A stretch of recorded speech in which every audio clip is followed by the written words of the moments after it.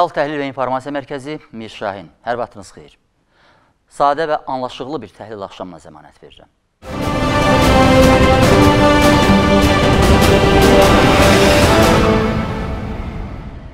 Əvvəlcə ondan başlayaq ki, Prezident Zəngilan və Cəbrayıl rayonlarına səfər zamanı böyük bərpanın ilk daşını divara hördü və suvağını çəkdi.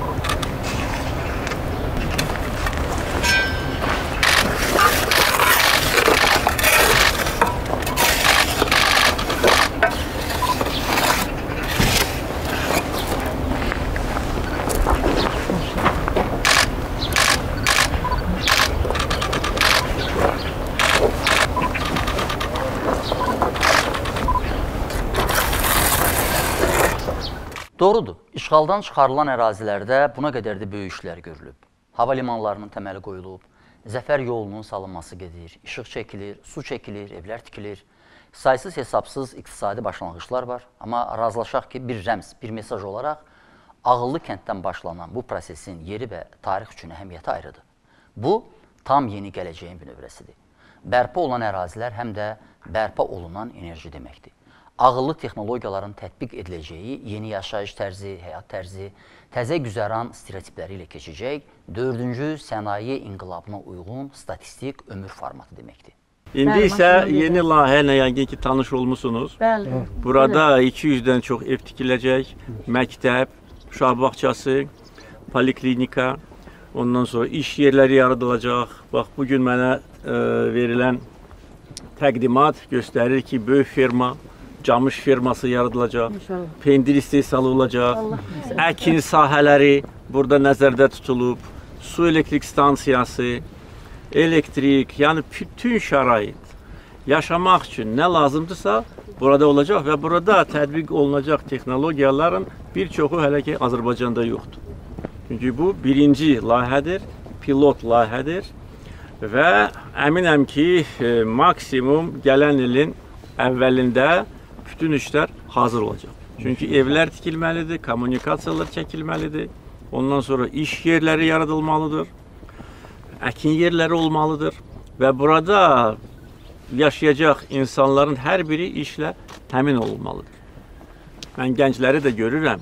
Onlar yəqin ki, müharibədən sonra dünyaya gəliblər ya da ki, e, müharibə e, bir yaşında məsələn bir yeddi yaşı. aylığında Neçə yaşı gəlmişəm. var idi? Möhtərəm zaman prezident, mən sizi öz kəndimizdə görməyə çox məmnunam. Mən e, Zəngilanda doğulan ən son körpələrdənəm. Buranı məcburi köçkün kimi tərk edəndə mən 7 aylıq olmuşam. Bu gün 28 ildən sonra ilk dəfə biz öz dədə-baba torpağımıza qədəm basırıq və sevindirici hal ondan ibarət ki, sizinlə bir yerdə ayaq basırıq. Yəni bu bizim üçün xüsusi bir sevincdir cənab prezident. Cənab prezident, biz sizin siyasəti hər zaman dəstəkləmişik.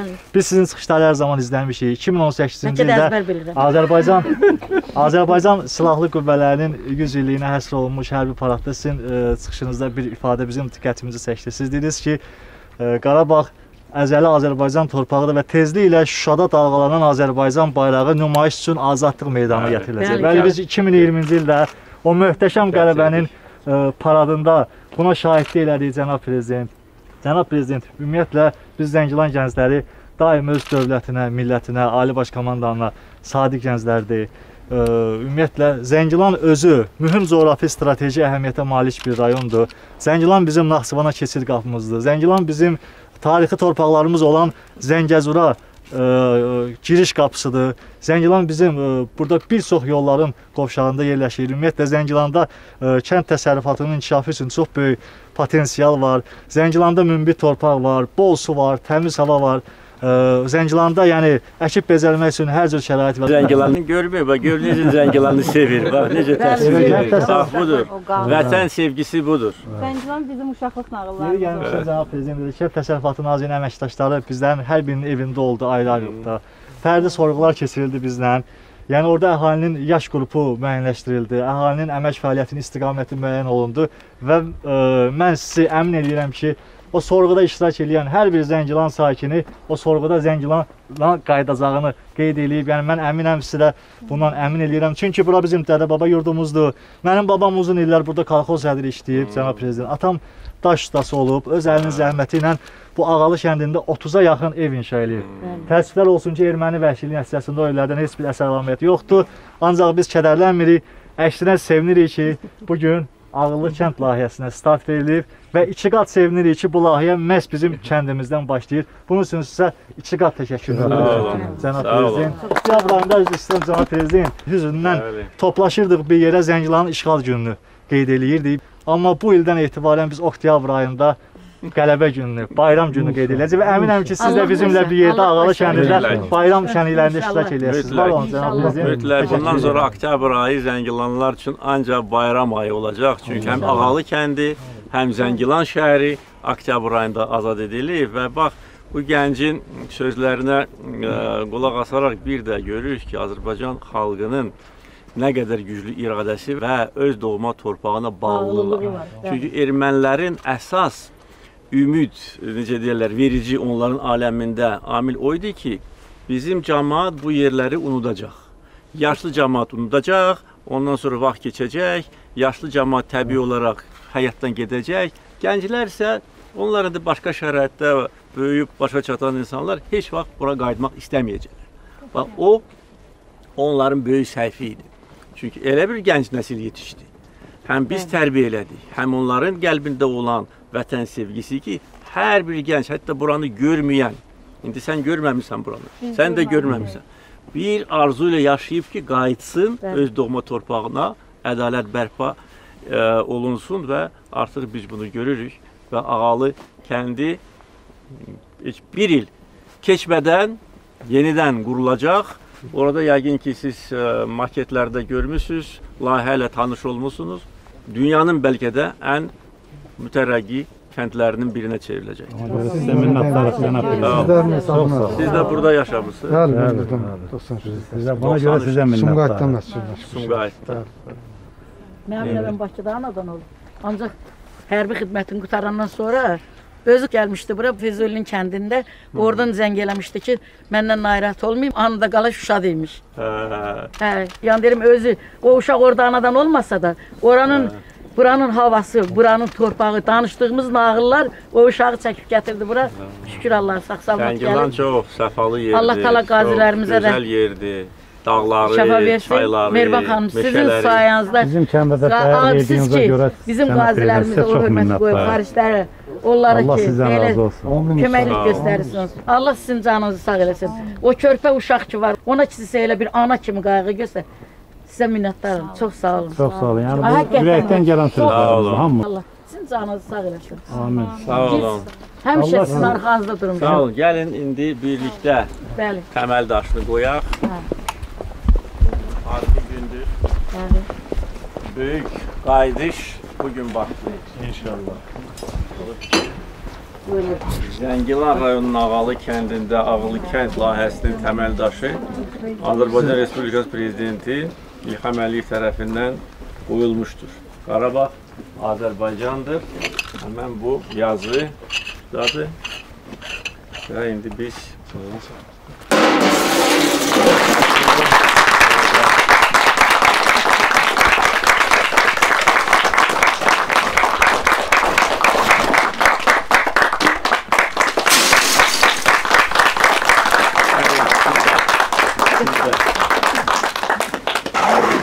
Hamının zəhmət olsun. Bəli. e, tarixdir. Allah yerdə Verirlər həmişə.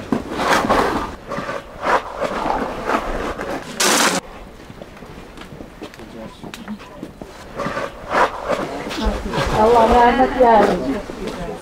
Xeyirli uğurlu olsun. Sağ olun.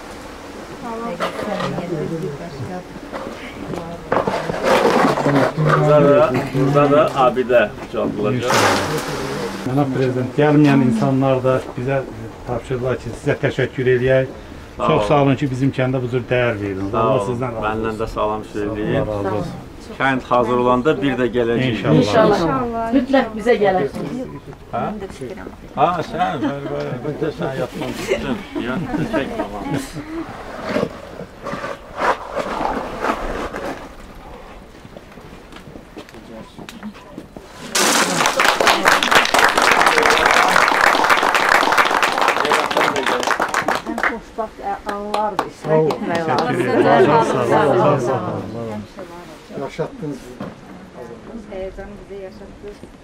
70 yaşım var elə bir ki 15 yaşda üstünə qoydunuz. o qədər cavanlaşdı. Mən gözəl qızım.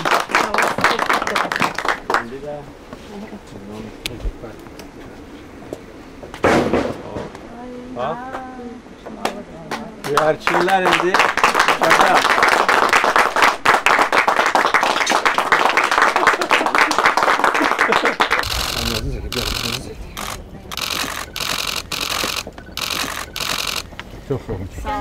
Sağ olun.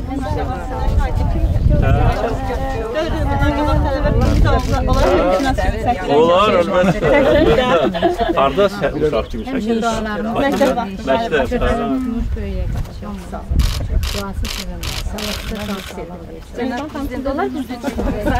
hə. Olar, əlbəttə.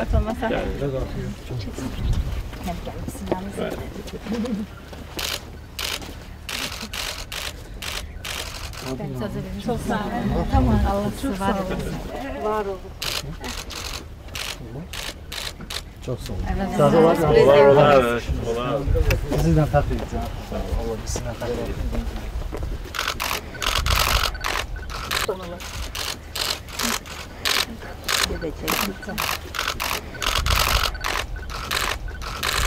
Çox sağ olun. Sağ olun. Uğurlar. Belə səmimi prezidentimiz qarımızdır, qalımız. Ən xoşbəxt günlərdən biridir. Ən möhtəşəm prezident. Mən bu kənddə doğulmuşam, burada olmamışdım cənab prezident. İndi inşallah e, gələn ilin, gələn ilin əvvəlində inşallah, inşallah bir də görüşəcəyik. İnşallah. İnşallah. Bütün ağalı cəmaatı inşallah.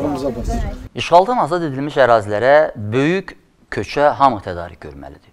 Ən böyük yük isə dövlətin üzərinə düşür.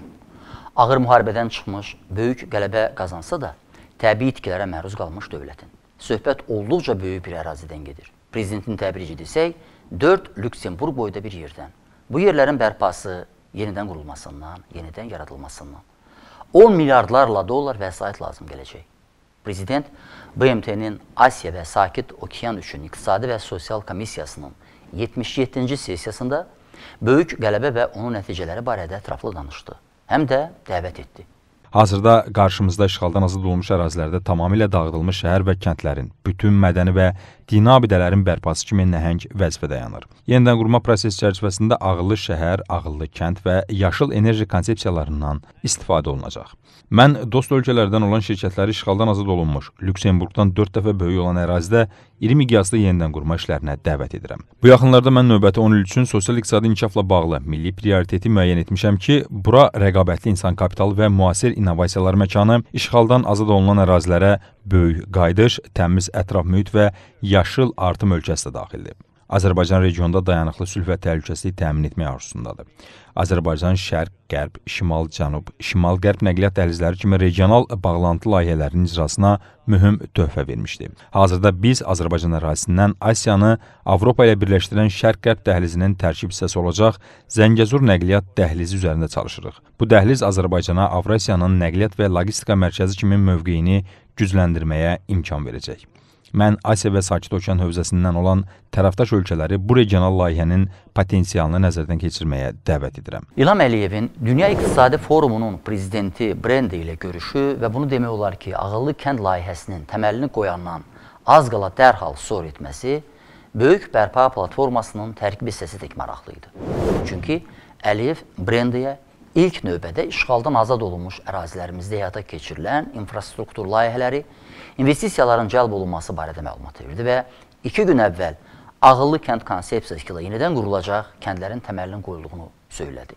İşğaldan azad edilmiş əraziləri yaşıl zona elan etdiyini, həmin ərazilərdə ağıllı şəhər, ağıllı kənd konsepsiyasından istifadə olunacağını, bu yeni reallıqlara istinadla şəhərlər üçün baş planların hazırlandığını, enerji istehsalı, elektrik enerjisi, avtomagistrallar, dəmir yolları, hava limanları ilə bağlı infrastruktur layihələrinin həyata keçirildiyini dedi və bu sahədə Dünya İqtisadi Forumu ilə əməkdaşlığın perspektivlərinə toxundu.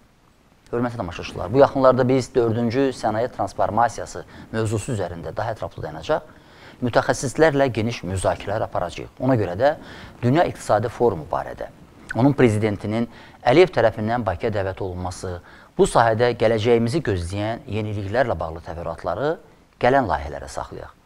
İlham Əliyevin məşhur Boeing şirkətinin prezidenti və baş icraçı direktoru Stanley Dillə video format görüşünə də elə böyük bərpa prosesi fonunda toxunacağıq. Sizin də bildiyiniz kimi biz Azərbaycanda bir neçə hava limanı tikmişik və 3 əlavə hava limanı da tikilməkdədir. bəli, işğaldan azad edilmiş ərazilərdə inşa olunacaq. Bilirəm, bu çox vacibdir. 2 gün bundan əvvəl onlardan birinin təməlini qoydum. Tikintisinə bir neçə ay bundan əvvəl başladığımız 1-ci hava limanı isə sentyabrda istismara veriləcək. İşlər çox sürətlə gedir. Əminəm ki, bizim uğurlu əməkdaşlığımız davam edəcək. Həmçinin siz bizə yük daşıma üçün təyyarə parkının inkişafında da kömək etmisiniz. Bəli, bu çox vacibdir. Deməli, bu görüşündə uzaq mənzilli inkişafı var və mövzuya yaxın vaxtlarda yenidən qayıtmalıyıq. Amma biraz əvvələ Dünya İqtisadi Forumunun prezidenti ilə söhbətin bir məqamına diqqətinizi istəyirəm. Söhbət gələcək üçün formalaşdırılan gənc nəsildən gedirdi. İlham Əliyev demişdi ki, gənc nəslin təliminə çox böyük diqqət yetirilir. Son illərdə bilikli insanların yeni nəsli yetişir. Bax elə burada da biz yenidən ağıllı kənd layihəsini düşünürük. Çünki kənd də, şəhər də ağıllı olmaqla ilk növbədə ağıllı insanın ixtiyarında tam səmərə verə bilər. Bəs insanımızın ağıllı layihələrə inteqrasiyası nə qədər uğurludur və ya uğurlu olacaqmı? Beləliklə, Nəqliyyat, Rabitə Yüksək Texnologiyalar Nazirliyinin müşaviri Fərid Əhmədovla ağıllı kənd, ağıllı şəhər, ümumilikdə ağıllı məkan haqqında danışacağıq. Fərid müəllim, prezidentin Zəngilan və Cəbrayıl rayonlarına səfərinin içindən mərkəzi xətt olaraq keçən mövzu bizim ağıllı kənd, ağıllı şəhər, ağıllı məkan layihəsinə nə qədər hazır olub olmadığımızı bir sual şəklində ortaya qoyur. Bu baxımdan düşünürəm ki, siz çox yaxşı respondent olacaqsınız bu gün. İnşallah mənim dəvətiniz üçün təşəkkür edirəm. Ağıllı şəhər, ağıllı kənd konsepti əsasən 4 sütun üzərində qurulub. Bu sütunun biri texnologiya, digəri dövlət qurumları, təsisatlarıdır. Sütunun bir, bir digər təməl sütun datadır və toplanan dataların təhlili emalıdır. Lakin bütün bu sütunların özəyini təşkil edən əsas sütun vətəndaşdır. Yəni dövlət texnologiyalardan istifadə etməklə datanı, məlumatı toplayaraq, təhlil edərək vətəndaşın gündəlik həyatını, güzaranını, həyat keyfiyyətini yaxşılaşdırılması üçün həllər, təkliflər ortaya qoymağı bacarmalıdır. Yəni bu əsas bunun qayəsidir və bunun müxtəlif formada təzahürləri ola bilər. Şəhərdə bunun bir təzahürü ola bilər, bu nəqliyyatla bağlı ola bilər, nəqliyyatın idarə olunması ilə bağlı ola bilər. Hətta cinayətkarlığın qarşısının alınmasında preventiv tədbirlər formasında Hı -hı. görünə bilər. Məsələn, dataların təhlili əsasında cinayətkarlığın daha çox harda baş verəcəyini müəyyən etmək olar, öncədən, qabaqcadan müəyyən etmək olar və beləliklə hədəfli şəkildə daxili işlər orqanları ora polis nəfərlərini göndərərək gələcək baş verə biləcək cinayətlərin qarşısını ala bilərlər. Yəni bunun amma mahiyyəti, kökü qeyd etdiyim kimi datanın toplanması, düzgün təhlili və datanın təhlili əsasında düzgün qərarların verilməsidir. Hansının ki sonunda yenə də vətəndaşın rifahı və güzaranı deyəm. Ağıllı kənd var Hindistanda. Ağıllı kənd var Sinqapurda. Ağıllı kənd var Zəngilanda, Ağalıda. Onları bir-birindən fərqləndirən cəhətlər varmı? Və yaxud onlar maket olaraq hamısına eyni dərəcədə müncər oluna bilərmi? Ağıllı şəhər və ağıllı kənd konseptləri ümumiyyətlə bunun bir vahid düsturu universal bütün məkanlara tətbiq olunacaq bir düsturu yoxdur əslində. Yəni hər bir ağıllı kəndin və yaxud ağıllı şəhərin qarşısında özünə məxsus tapşırıqlar və məsələlər var, onların icrası üçün nəzərdə tutulur. Tamamilə doğrudur. Aha. Biz ağıllı kənd konseptini və yaxud ağıllı şəhər konseptini məzmununu müəyyən etmək üçün ilk növbədə bunun nəyə xidmət etdiyini müəyyən etməliyik. Yəni nəyə görə bunu etdiyimizi müəyyən etməliyik. Əsas hədəfin nədən ibarət olduğunu müəyyən etməliyik və hədəf sualına cavab verdikdən sonra məzmun sualına cavab verə biləcək. Yəni hədəf məzmunu müəyyən edəcək. Bu a, əgər Sinqapur misalını, Sinqapurla Hindistanı siz misal olaraq çəkdinizsə, bunları müqayisə etsək, Sinqapurda ümumi hədəf ağıllı şəhərdən ağıllı məkana, bütünlüklə məkana, ağıllı məmləkət, ölkəyə və ağıllı millətə keçiddirsə və bunu da onlar həm rəqəmsal transformasiya kontekstində, innovasiyaların təşviqi kontekstində görünərsə, ağıllı şəhəri, ağıllı kəndi burada bir alət kimi istifadə edirlər ki, o son qoyulmuş məqsədə çata bilsinlər. Hindistanda çağırışlar fərqli ola bilər. Hindistanda bu çağırışlar urbanizasiyadan irəli gələn əhalinin sıxlığından, məişət xidmətlərinin göstərilməsində çətinliklərlə bağlı ola bilər ki, onlar məhz bu problemləri həll etmək üçün ağıllı məkan konseptini tətbiq eləmiş olurlar. Azərbaycanda isə əgər nəzər salsaq, bugünkü gündə Azərbaycanda trendlərə və ölkə başçısının qarşımızda qoyduğu hədəflərə və xüsusən bununla bağlı bu günlərdə qəbul olunmuş normativ sənədlərə ə, və onlardan biri də həm işçi qrupunun yaradılması, ağıllı şəhər, ağıllı kənd konseptinin hazırlanması ilə bununla yanaşı isə rəqəmsal transformasiya sahəsində idarə etmənin təkmilləşdirməsi ilə bağlı olan fərmanına nəzər salsaq, burada Nəqliyyat Rabitə Yüksək Texnologiyalar Nazirliyinə rəqəmsal transformasiyanın təşkili, onun həyata keçirilməsi və əlaqələndirilməsi vəzifəsi qoyulub. Bunlara kompleks şəkildə yanaşdıqda biz görə bilərik və bu sənədlərin ard-arda qəbul olunduğunu nəzərə alaraq ölkə başçısı tərəfindən biz əslində hədəfin hansısa mənada qoyulmuş olduğunu fikir səsləndirə bilərik. Bu da rəqəmsal transformasiya, innovasiyaların təşviqi və ağıllı kənd, ağıllı şəhərin burada alət kimi istifadə olunması. Yəni həmin bu son məqsədə nail olmaq üçün. Ağıllı kənd də ola bilər, ağıllı şəhər də ola bilər, amma ağıllı kəndin ağıllı şəhərin olması üçün birinci növbədə ağıllı insan olmalıyıq. Və mən belə başa düşdüm ki, yeni dövr modern çağırışlar fonunda klassik insan xammalı uyğun deyil. Biz dəyişməliyik. Bəs biz ağıllı texnologiyalar, ağıllı kəndə, ağıllı şəhərə hökm edə biləcək səviyyədə intellektual olmaqdan ötürü hansı mərhələlərdən keçməliyik? Bizi necə hazırlamalıdırlar? Bu təlimlərmi formasında olmalıdır? Hansısa bir məktəblərmi açılmalıdır? Bəlkə hansısa ağıllı-ağıllı qruplar yaradılmalıdır və onlar gedib həmin ərazilərdə insanların həmin o ağıllı avadanlıqlarla necə rəftar eləməyi, ağıllı texnologiyalarla necə rəftar eləməklərini tədris eləməlidir. Siz necə düşünürsünüz? Bu bunun müxtəlif üsulları ola bilər. Bu çox maraqlı sualdır və çox önəmli bir sualdır. Əslində biz qeyd etdiyim kimi bu prosesin, yəni ağıllı şəhər, ağıllı kənd təşəbbüsünün özəyində duran, yəni vətəndaşdır.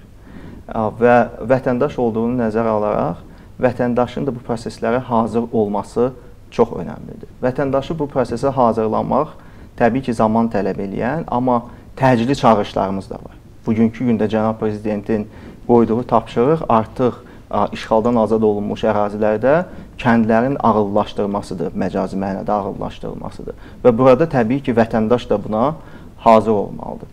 Ümumiyyətlə biz şəhərlərin, kəndlərin dinamik, daimi təkamüldə olduğunu bilirik. Bu şübhə doğuran bir məqam deyil. Xüsusən Azərbaycanda ölkənin inkişafını nəzərə alaraq, iqtisadi inkişafını nəzərə alaraq şəhərlərimiz və kəndlərimiz böyük sürətlə inkişaf edir. Bu da o deməkdir ki, bizim daimi təkamüldə olan insanlarımız da olmalıdır. O insanlar ki, həmin ağıllı şəhərlərdə oradan irəli gəl, ağıllı şəhərlərin ortaya qoyduğu texnoloji çağırışlara hazır olmalıdırlar. Bu da bəli, müxtəlif vasitələrlə ola bilər. Əgər təcili çağırışları təlimlər vasitəsilə, uzun vədəli çağırışları isə təhsil sistemindən, təhsil sistemində islahatlar aparmaqla, məktəblərimizi ağıllaşdırmaqla, ə, ali təhsil müəssisələrimizi, məktəbə qədər təhsilimizi ağıllaşdırmaqla o hədəfə çata bilərik. Mən təşəkkür edirəm Fərid müəllim. Mən sizə təşəkkür edirəm. Sağ olun. Nəqliyyat Rabitə Yüksək Texnologiyalar Nazirliyinin müşaviri Fərid Əhmədovla ağıllı kənd, ağıllı şəhər, ümumiyyətlə ağıllı məkanın perspektivləri barədə danışırdıq. Beləliklə, Azərbaycanın nəhəng işlər miqyasını təsəvvür edə bilməyəcəyimiz məsələlərin həlli gözləyir. Öz haqqını, öz gücü ilə qazanan ölkə dünyaya əməkdaşlıq təklif edir. Gələcəyimizin uğur və rifah şərikləri sırasında bütün xeyirxah dövlətləri görmək istəyir. Diqqətli tamaşaçımız yəqin ki, Azərbaycan rəhbərinin bütün görüş və danışıqlarını izləyir və görür ki, bütün mesajlar birgə əməkdaşlığa yönəlib. Birləşmiş Ştatların dövlət katibi Anthony Blinkenin prezident İlham Əliyevə telefon zəngini elə bu kontekstdə şərh eləyək.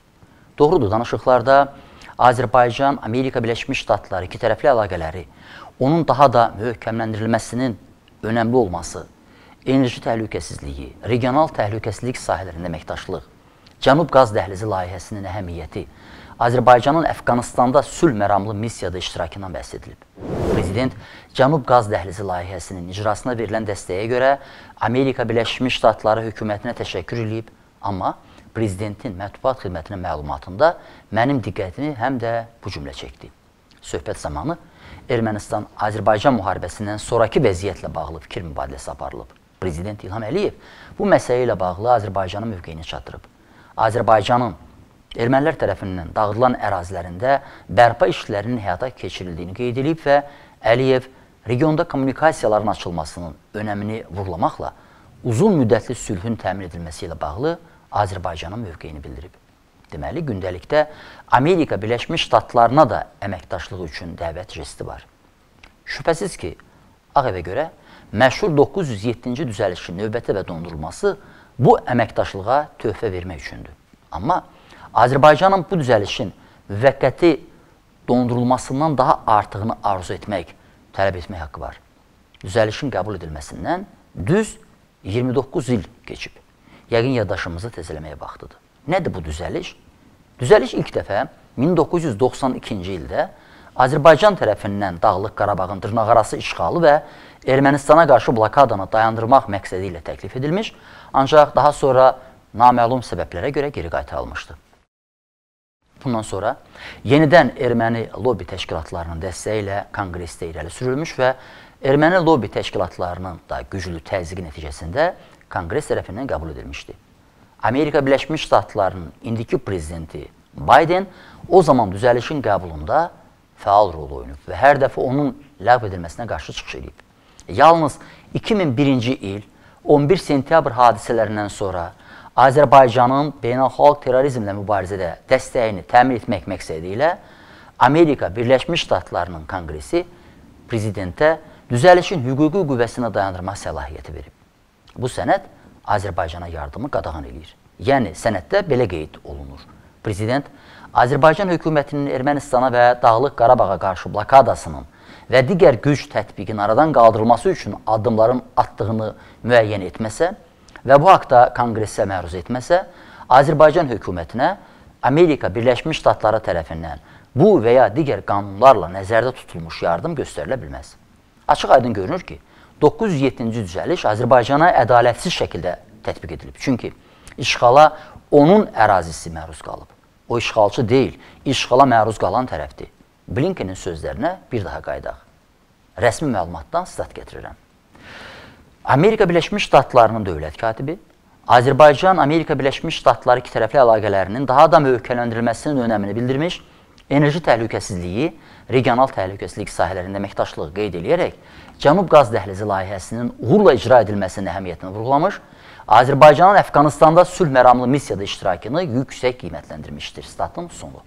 Bu saladalıqlarımız həm də Amerika Birləşmiş Ştatlarının milli maraqlarına uyğun olan məsələlərdir. Deməli, 907-ci düzəlişin ləğv edilməsi üçün hüquqi şərait də var. Çünki sənəddə onun ləğv edilmə mümkünlüyü barədə belə bir xüsusi qeyd də var. Prezident qadağanın tətbiq edilməsinin Amerika Birləşmiş Ştatlarının milli maraqlarına uyğun olmadığına dair qərara gəlsə və bu haqda konqresə təqdimat versə, bu qadağa tətbiq edilməməlidir. Bu qadağanı hər dəfə, hər dəfə ləğv etmək Azərbaycan-Amerika münasibətlərini ipdən asılı vəziyyətə saxlamaq deməkdir. Bir dəfə ləğv etmək vaxtıdır. Bir dəfəlik ləğv etmək vaxtıdır. Onu da nəzərə alaq ki, Azərbaycan artıq bütün platformalarda bəyan edir ki, Qarabağ münaqişəsi artıq həll edilib. Gəlin bütün yolları açaq. Ümumiyyətlə, çox trafaretlərə yenidən baxılmalı, çox stereotiplər ləğv edilməlidir. Məsələn, Dağlıq Qarabağın Azərbaycanlı icmasının adı və təyinatı kimi. Qarabağa dönüş. Əla addır. Minsk qrupunun Qarabağ fəaliyyətinə də yenidən baxılmalıdır. Söhbət təkcə ondan getmir ki, 44 günlük vətən müharibəsi və ondan sonraki dövrlərdə Ermənistan tərəfdə silahdaşlıq edən Fransa kimi dövlət həmsədrlikdən uzaqlaşdırılmalıdır. Mən elə gəlir ki, bu formul ümumiyyətlə ləğv edilməlidir. ATƏT Minsk qrupunun həmsədrliyi Ermənistanı sülhə vadar etmə diplomatiyasının ya əsas qərargahı olmalıdır, ya da ləğv edilməlidir. Çünki artıq yeni hərbi və diplomatik reallıqlar yaranıb. Ermənistanın məğlubiyyətindən sonra imzalanmış 10 noyabr bəyanatını bir daha xatırlayaq. 1. 10 noyabr 2020-ci il tarixində Moskva vaxtı ilə saat 00:00-dan etibarən Dağlıq Qarabağ münaqişəsi zonasında atəşin və bütün hərbi əməliyyatların tam dayandırılması elan olunur. Bundan sonra tərəflər adlandırılacaq Azərbaycan Respublikası və Ermənistan Respublikası hazırda tutduqları mövqelərdə qalacaqlar. 2. 20 noyabr 2020-ci il tarixinədək Ağdam rayonu Azərbaycan Respublikasına qaytarılır. 3. Dağlıq Qarabağda təmas xətti və Laçın dəhlizi boyu Rusiya Federasiyasının 1960 sayda odlu silahlı hərbi qulluqçusundan 90 hərbi zirehli texnika, 380 ədəd avtomobil və xüsusi texnikadan ibarət sülh məramlı kontingenti yerləşdirilir. 4. Rusiya Federasiyasının sülh məramlı kontingenti erməni silahlı qüvvələrinin çıxarılması ilə paralel şəkildə yerləşdirilir. Rusiya Federasiyasının sülh məramlı kontingentinin qalma müddəti 5 ildir və müddətin bitməsinə 6 ay qalmış, hazırki müddəanın tətbiqinə xitam verilməsi niyyəti ilə bağlı tərəflərdən hər hansı biri çıxış etməzsə, müddət avtomatik olaraq növbəti 5 ilə uzadılır. 5. Münaqişə tərəflərinin razılaşmalara əməl etməsinə nəzarətin səmərəliliyinin artırılması məqsədi ilə atəşkəsə nəzarət üzrə sülh məramlı mərkəz yaradılır. 6. Ermənistan Respublikası 15 noyabr 2020-ci il tarixinədək Azərbaycan Respublikasına Kəlbəcər rayonunu 1 dekabr 2020-ci il tarixinədək isə Laçın rayonunu qaytarır. Dağlıq Qarabağla Ermənistan arasında əlaqəni təmin edəcək və bununla belə Şuşa şəhərinə toxunmayacaq Laçın dəhlizi Rusiya sülh məramlı kontingentinin nəzarəti altında qalır.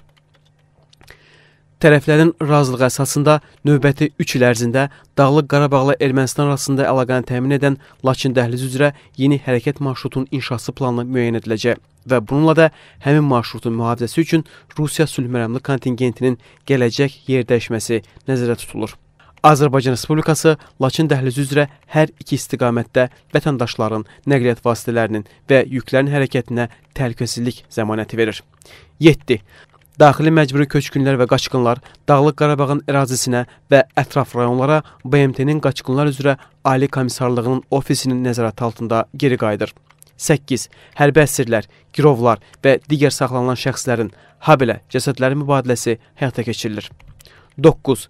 Bölgədəki bütün iqtisadi və nəqliyyat əlaqələri bərpa edilir. Ermənistan Respublikası vətəndaşların, nəqliyyat vasitələrinin və yüklərin hər iki istiqamətdə maneəsiz hərəkətinin təşkili məqsədi ilə Azərbaycan Respublikasının qərb rayonları və Naxçıvan Muxtar Respublikası arasında nəqliyyat əlaqəsinin təhlükəsizliyinə zəmanət verir. Nəqliyyat əlaqəsi üzrə nəzarəti Rusiyanın Federal Təhlükəsizlik Xidmətinin sərhəd xidmətinin orqanları həyata keçirir. Tərəflərin razılığı əsasında Naxçıvan Muxtar Respublikası ilə Azərbaycanın qərb rayonlarını birləşdirən yeni nəqliyyat kommunikasiyalarının inşası təmin ediləcək. Burada bir sıra maddələr var ki, artıq yerinə yetirilib. Ona görə də sənəddən bəzi çıxarışlar etməli olacağıq. Məsələn, bəyanatda belə bir şərt var. Rusiya Federasiyasının sülh məramlı kontingenti erməni silahlı qüvvələrinin çıxarılması ilə paralel şəkildə yerləşdirilir. Hələ ki, yerinə yetirilməyən bu şərtin işə düşməsini gözləyirik. İkincisi, bu sənəddə sülh məramlı qüvvələrin məsuliyyət zonası adlı ifadə yoxdur. İfadə belədir. Sülh məramlı kontingent. Ona görə də Rusiya dairələrinin istifadə etdiyi sülh məramlı qüvvələrin məsuliyyət zonası söz birləşməsi bu sənədin hərfi və hüquqi mahiyyətinə ziddir. Müstəqil bir dövlətin ərazisini başqa bir dövlətin silahlı qüvvələrinin məsuliyyət zonası adlandırmaq yol verilməzdi və mən həmkarlarımı da bu ifadədən istifadə etməməyə çağırıram. Və ən başlıcası, bu bəyanat adını Minsk qrupu qoyduğumuz trio üçün yeni vəzifələr müəyyən edib. Sadəcə bu işlərin yerinə yetirilməsinə nail olmaq lazımdır. Məğlub tərəfi məğlubiyyətlə barışdırmağa. Göründüyü kimi münaqişə bitib, amma ardınca müəyyən tör töküntülər qalmaqdadır. Təmizləməliyik. Çünki bu kadrlardan da göründüyü kimi Ermənistan sərhədçiləri Azərbaycan tərəfini təxribata çəkməkdə hələ də istəklidirlər. Diqqətlə baxaq, Ermənistanın bütün provokasiyaları qarşısında Azərbaycan sərhədçiləri soyuqqanlıq, təmkin nümayiş etdirir. Это я тебе не оскорбляю. Послушай. Сакит, сакит, сакит, сакит. Я могу отда- от- давайте назад чуть-чуть, чуть-чуть назад, чуть-чуть назад одну секунду.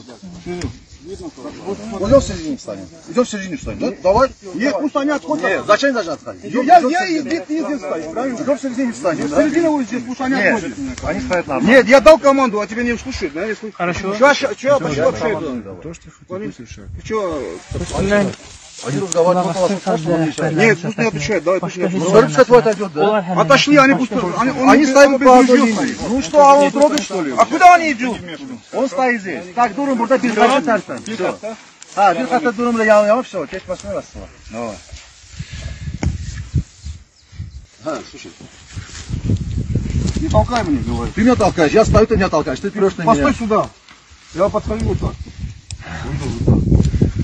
Так. Долго можно танцевать? Давай танцевать.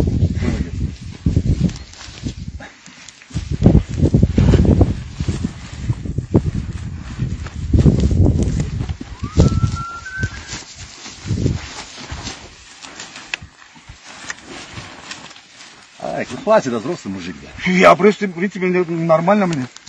Спортом занимается. Вам это нравится, да? Да. А ему тоже нравится, зачем тебе это? Нет, он делает то, как нужно, а вам нравится? Да, да, мне нравится. Все видно, у кого бодрак. Вам что нравится, нам что не нравится.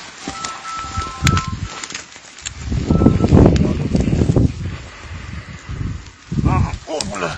Ага. Привет. Nankorluqdur. Başqa söz tapmaq mümkün deyil.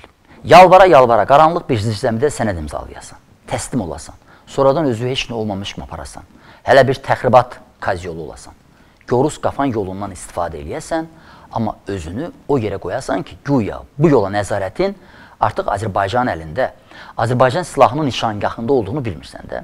Sənə gələn qaz Azərbaycanın ərazisindən keçib gəlir və qaz boğazın bizim əlimizdədir. Deməli, hələ də tərbəşirlər. Nəyəsə, kiməsə ümid eləyirlər.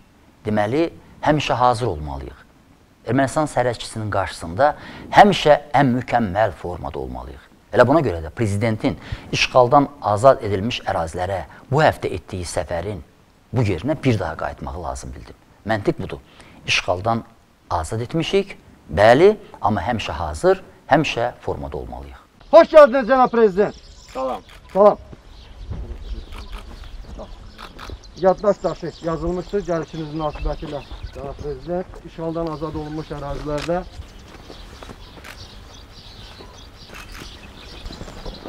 Məruzə edirəm ki, verdiyiniz göstərişlərin icrası üzrə işğaldan azad olunmuş ərazilərdə tikinti təmir işlərimiz davam edir.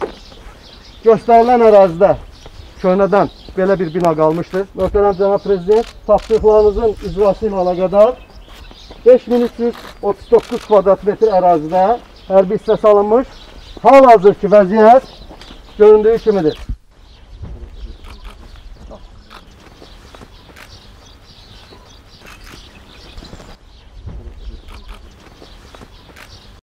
Müharibə vaxtında möhtərəm cənab prezident, Hanokların tətbiqi ilə əlaqədar çəkilişlər aparılmışdır. Sağ hissədə isə hal-hazırda partaj və küçüata yüksəlir. Görsəniz və burada 3 dəqiqə ərzində gördüyünüz kimi tor sistemi yadımdadır. Qarajın içində. elədir ki, var cənab prezident. Və burada onların bir çox raket komplekslərini, S-300 sistemlərini, SCAD raket komplekslərini onlar Horadiz kənd istiqamətində əks hücum həmləsi etmək niyyətində olduqda Haroklar tərəfindən 2 saat ərzində onların 14 tankı məhv edildi. Və bu çəkilişlərdə o tankların məhv edilməsi vardır. Və təqribən 10-12 tankı da düşmən qoyub qaçmışdır. Onların da özləri də bunu etiraf etməli. Elədir ki, var cənab prezident. Elədir ki. Bu S-300-ün vurulması idi. Harokların vurma qabiliyyəti 97 faiz cənab prezident. Hər 100 hədəfə.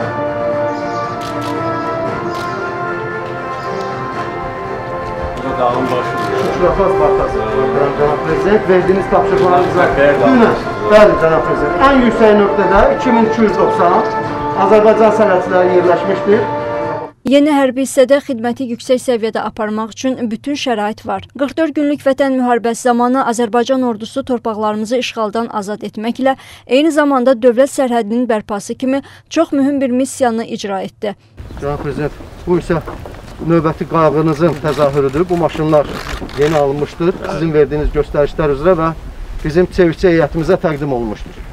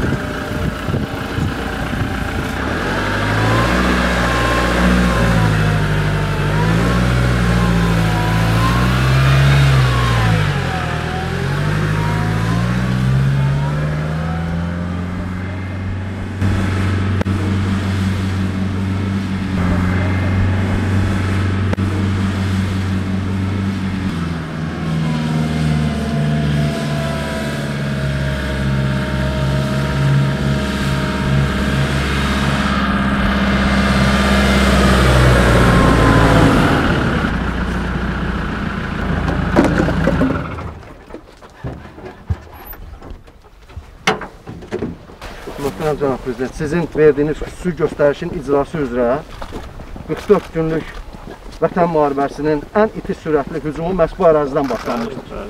Silahlı qüvvələrimizin tərkib hissəsi kimi Dövlət Sərhəd Xidmətinin şəxsi heyəti də yüksək peşəkarlıqla düşmənə sarsıdıcı zərbələr endirdi və onu torpaqlarımızdan qovdu.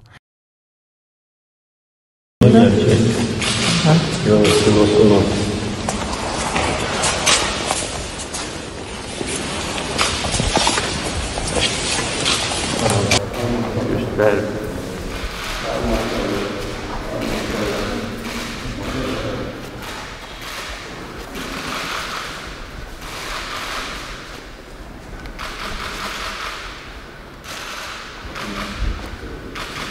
Bu ancaq razminkadır.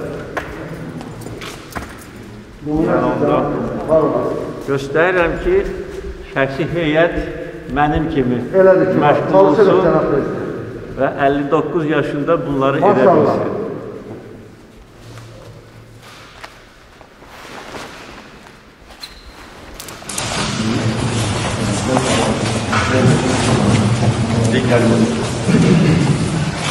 Nə?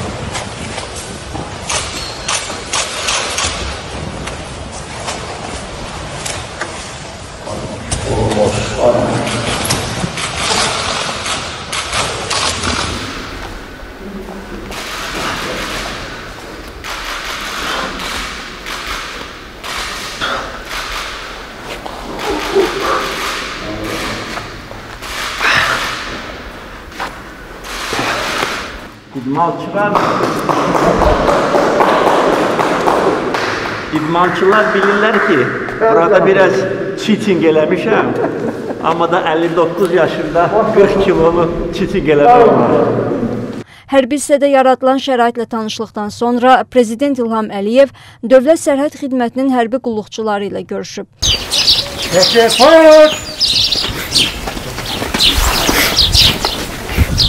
Azad. Azad. Əziz sərhədçilər, bugün ölkəmizin həyatında əlamətdar bir gündür.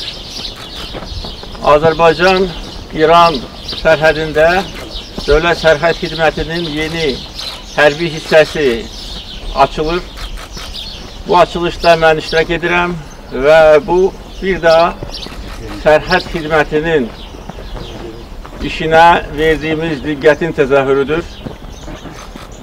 Vətən müharibəsi dövründə Azərbaycan-İran sərhədi tam bərpa edilib, 132 kilometr işğal altında olmuş sərhəd bərpa edilib. Və müharibədən dərhal sonra sərhəd boyunca bütün lazımi istehkam, mühafizə işləri qurulmağa başlamışdır. Və bu hərbi hissənin fəaliyyətə başlaması bunun bariz nümunəsidir. Bütün sərhəd boyunca həm Azərbaycan-İran, həm Azərbaycan-Ermənistan sərhədləri boyunca lazımi işlər aparılır. Azərbaycan-İran sərhədi dostluq sərhədidir və bu sərhədin qorunması Azərbaycan-İran əlaqələrinin inkişafı üçün də çox böyük önəm daşıyır. Bizim İran İslam Respublikası ilə digər istiqamətlərdə sərhədimiz var və bu sözün əsl mənasında dostluq, əməkdaşlıq sərhədidir və ə, sərhəddən keçən hər iki ölkənin vətəndaşları bundan faydalanırlar. Eyni zamanda ildən ilə artan yüklərin həcmi Azərbaycan-İran əlaqələrinin inkişafından xəbər verir. Və ə, bu yaxınlarda yaxın məsafədə yerləşən Xudafərin körpüsü Azərbaycan-İran dostluğunun rəmzidir. Xudafərin körpüsü müstəqillik günündə keçən ilin oktyabrın 18-də düşməndən azad edilmişdir və bu ərazini düşməndən azad edilməsində sərhədçilər xüsusi rol oynamışlar. Məhz bu istiqamətdən azadlıq mübarizəmiz başlamış və vətən müharibəsi 44 gündən sonra ordumuzun silahlı qüvvələrimizin qələbəsi ilə nəticələnmişdir. Bu ərazidə şiddətli döyüşlər gedir. Hər bir kənd uğrunda şiddətli döyüşlər gedir. Biz şəhidlər verirdik. Allah bütün şəhidlərimizə rəhmət eləsin. Onların əziz xatirəsi bizim qəlbimizdə əbədi yaşayacaqdır. Və buna baxmayaraq, itkilərə baxmayaraq biz irəli gedirik. Hər gün irəli gedirik. 44 günlük müharibə dövründə bir gün belə geriyə addım atmamışıq. 44 gün ərzində hər bir gün zəfər günü idi. 44 gün ərzində Ermənistanın bütün cəhdlərinə baxmayaraq bir dənə də uğurlu əməliyyat keçirə bilməmişdir. Bax, bu istiqamətdə onlar əks-hücum əməliyyatı planlaşdırmışlar və bunu həyata keçirməyə başlamışlar. Amma onların sonunun başlanğıcı olmuşdur. Çünki həmən o əks-hücum əməliyyatı Azərbaycan silahlı qüvvələri tərəfindən tamamilə darmadağın edilmişdir. Düşmən böyük sayda ə, itki vermişdir və düşmənin onlarla texnikası məhv edilmişdir. Məhz bu istiqamətdən, Füzuli Cabrayıl istiqamətindən biz keçərək bir çox müdafiə xətlərini keçərək azadlığa yol açmış. Bugün Müzəffər Azərbaycan Silahlı Qüvvələri qarşıda duran bütün vəzifələri icra edir. Eyni zamanda sərhədçilərimiz hal-hazırda işğaldan azad edilən ərazilərdə Azərbaycan-Ermənistan sərhədində qoruyur. Bu sərhəddə bərpa edilib və ə, sərhəd boyunca bütün lazımi infrastruktur işləri aparılır, bütün texnika səfərbər edilib və bu sərhədin uzunluğu 500 kilometrə yaxındır. Və 30 ilə yaxın müddət ərzində bu sərhəd işğalçı qüvvələrin əlindəyik. Biz vətən müharibəsində qələbə qazanaraq bu sərhədi də tam bərpa etdik.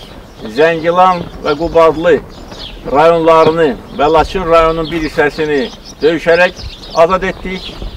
Laçın rayonunun böyük hissəsini və Kəlbəcər rayonunu artıq düşmən məcbur olmuş kapitulyasiya aktını imzalayaraq bizə qaytarıb və hal-hazırda o ərazilərdə lazımi işlər aparılır. Ancaq əfsuslar olsun ki, Ermənistanda baş qaldıran revanşist qüvvələr yenə də bizə qarşı ittihamlarla çıxış edərək bizə qarşı ərazi iddiasını irəli sürürlər. Onlara bax buradan xəbərdarlıq etmək istəyirəm, bu çirkin əməllərdən əl çəksinlər. Yoxsa onların axırı pis olacaq. Biz vətən müharibəsi dövründə kimin kim olduğunu göstərdik.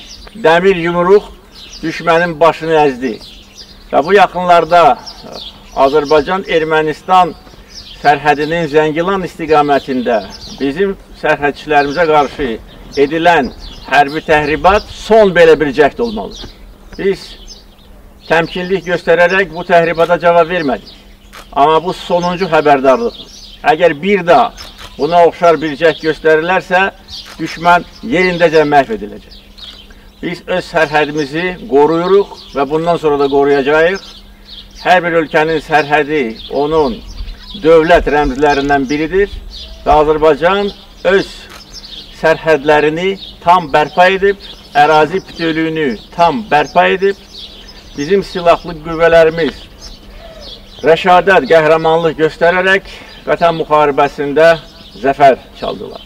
Və sərhədçilərin ümumi zəfərimizdə rolu çox böyükdür. Mən bunu qiymətləndirirəm və təsadüfi deyil ki, bir çox hərbiçilər dövlətimizin yüksək orden və medalları ilə təltif edilmişlər.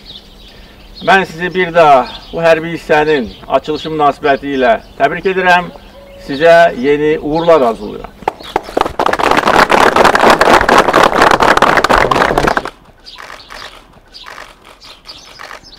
Sağ olun cənab prezident. Sağ olun.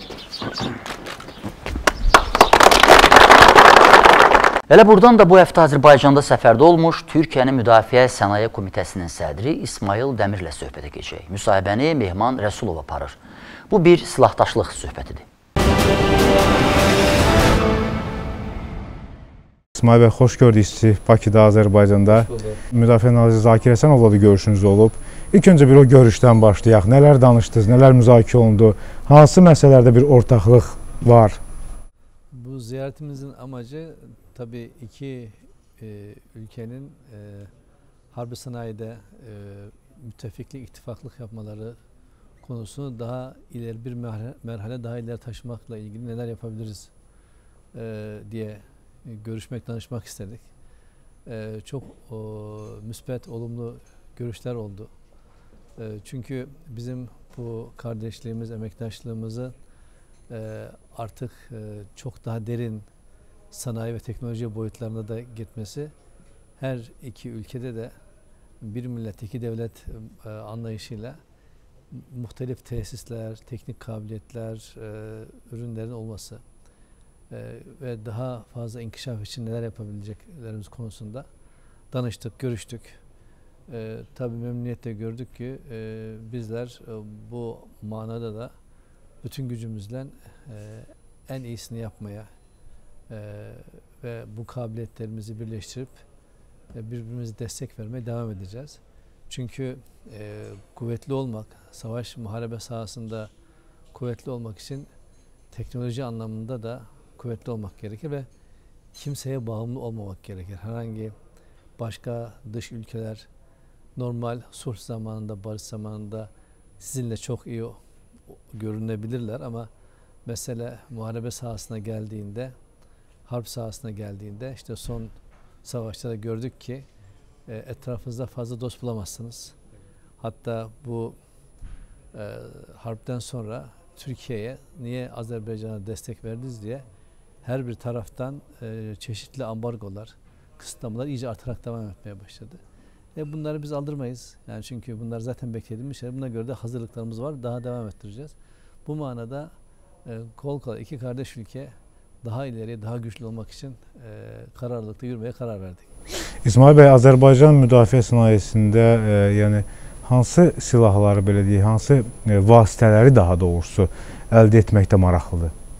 Şimdi Türkiye'den e, gelen e, çeşitli e, silahları, ürünleri gördük. Bu devam edecek. Tabii ki muharebe e, harp sahasında daha güçlü kılacak.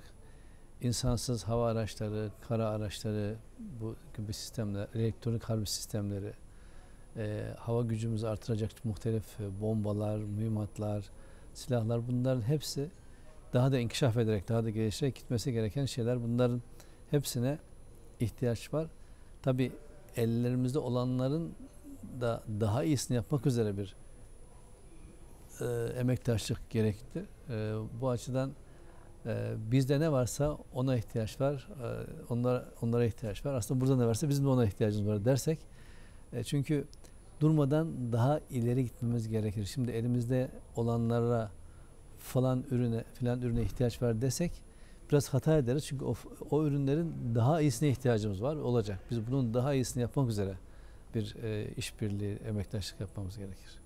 birgə istehsalla bağlı ə, hər hansı bir fikirlər varmı gələcəyə? Tabii ki.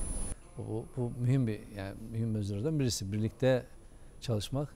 Yani Türkiye'den e, buraya, buradan Türkiye'ye bir e, silahın bir ürüne gitmesi sadece küçük bir parçası meselenin. Asıl büyük mesele e, beraberce neler yapılacağı, ortaklıkla, ittifaklıkla neler yapılacağı. Bunlar e, tabii meselelerin en başında bunlar var. Bunun da e, yavaş yavaş çok detaylı bir şekilde incelenmesi, planlanması, iki ülke şirketlerinin bir araya gelip e, devletin de desteğiyle e, muhtelif alanlarda faaliyet göstermeleri bizim için çok mühim. Çünkü bu birlikte çalışmak ancak bizi beraberce bir yere götürür.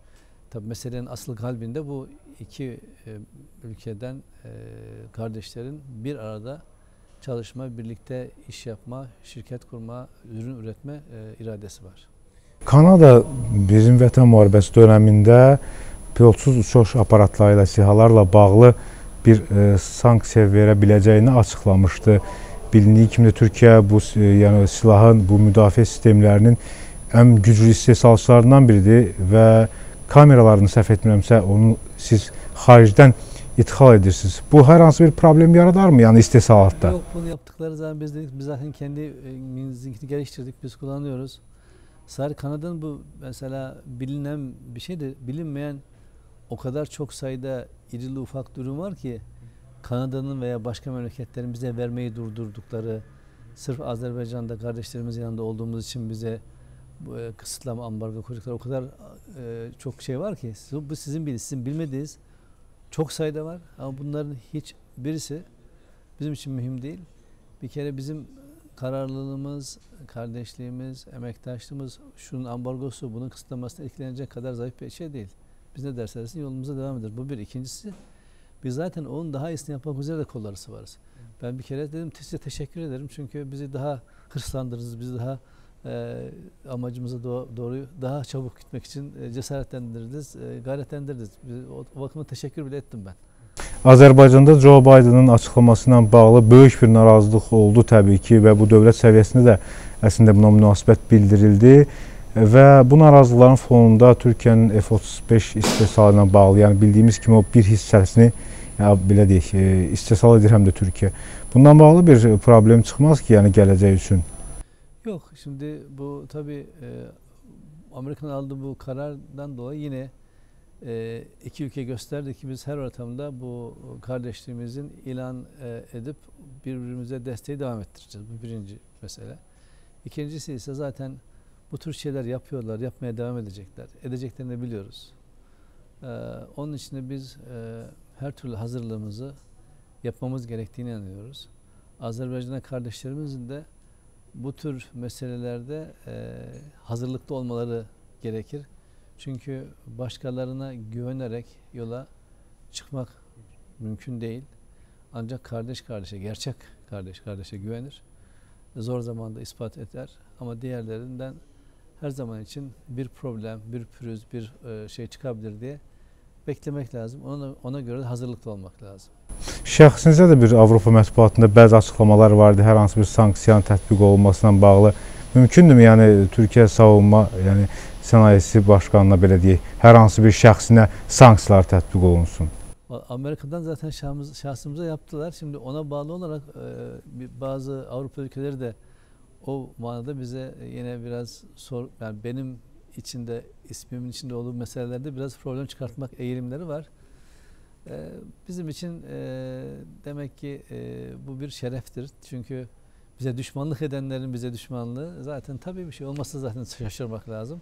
Ama tabii biz bunu her zaman söylediğimiz bir şey var. Biz düşmanlık veya husumetle ilgili biz taraf değiliz. Yani bize bunlar yapanlar bunu tek taraflı yapıyorlar. Biz hiçbir zaman için bu husumeti başlatan, bu gerginliği başlatan taraf olmayız. Her zaman için sulhtan, anlayıştan taraftarız. Ee, bunu her zaman söyledik. F-35 meselesinde de dedik biz bu programdayız, biz bir ortağız. Biz ortaklığımızın şartlarını yerine getirmeye her zaman e, hazırlık ve yaptık, yapıyoruz da. Siz böyle bir karar alıyorsunuz, bu gayri hukukidir. Bunun hukukta yeri yoktur. Bu anlaşmalara aykırıdır dedik diyoruz. Ee, biz e, ciddi devletiz. Bizim tarihimiz çok eski. Biz e, bir devlet geleneğine sahibiz. Bir devlette biz imza attığımızda o imzaya sadık kalırız. Bugün öyle yarın öyle demeyiz. Ama e, başkaları bunu yapıyor ama biz e, başkalarının kötü örneği bizim e, devlet kültürümüze, adetlerimize örnek teşkil etmez. Yani kötüler bizim öğretmenimiz olamaz. Biz iyilerle, iyilikle, hukukla, adaletle yorulmuş bir milletiz. Böyle devam edeceğiz inşallah. İnşallah İsmail bəy bildiyiniz kimi bizim məşhur silahlardan da biri istiqlaldır. Necə deyirlər, haqqıdır millətimin haqqa taban istiqlal. O baxımdan yəni burada da biz birliyimiz var. İnşallah bu birlik əbədiyyən davam edər. İnşallah, inşallah edecek. Təşəkkür edirəm, minnətdaram. Teşekkür ederim. Münaqişə bitib. Amma əhəmiyyət və miqyasına görə ona bərabər başqa bir proses başlayıb. Böyük bərpa, böyük qayıdış. Bu bərpa ayağını itirmiş, əlini, gözünü itirmiş qazilərimizin vücudundan tutmuş dron və təyyarələr, yeni hərbi avadanlıqların alınmasına dək bütün istiqamətləri əhatə edir. Prezident işğaldan azad edilmiş ərazilərdən söz düşəndə elə belə demirdi ki, 4 Lüksemburg boyda ərazi. Gəlin indi təsəvvür etməyə çalışaq ki, 4 Lüksemburg boyda ərazi nə qədərdir və bu həm də 4 Lüksemburg boyda xarabalıq deməkdir axı. Dağıdılmış, yerlə yeksan edilmiş, daşı daş üstə qalmayan vətən, yurt. Prezidentin bu sözlərinə bir daha qulaq asaq. Və Zəngilanı bir cənnətə çevirəcək.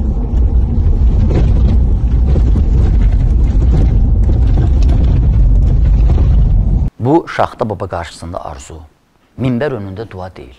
Bu dövlətin, onun başçısının qarşıya qoyduğu vəzifədir, tələbdir.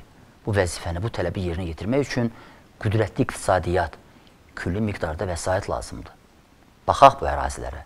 Baxdıqca gözümüz qaralan dağılmışlarımıza baxaq.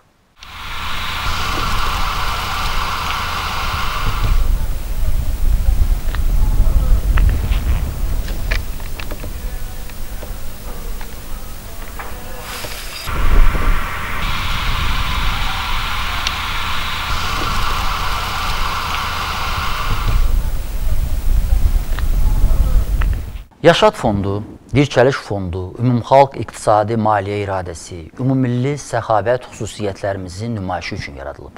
Biz dövlətdən pul istəməli deyilik bu günlər. Əksinə, imkanımız varsa dövlətə pul verməliyik. Gücümüz çatandan.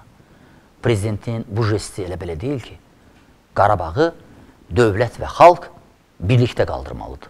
Gəlin indi birlikdə Bəli. təməl daşını qoyaq. Hə. Ardı gündür. Bəli. Böyük qayıdış bugün başlayır inşallah. Bugün böyük bərpa çağında dağılmış evinin məzarı başında ağlayan bu adama lazım deyib. Yasamalda Sovet xiffəti ilə gizildən sakinlərimizə yox.